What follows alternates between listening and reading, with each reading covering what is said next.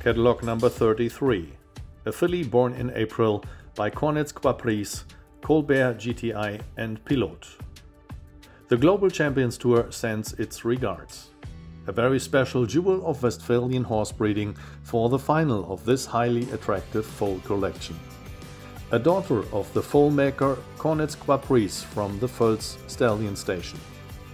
The dam of this celebrated Amazon, Cezanne, is a half-sister to the five-star winner Cornet's Cristallo of Marco Kutscher and was internationally successful herself. Among others, she produced the daughter Aurelia, international successful in advanced level jumping classes.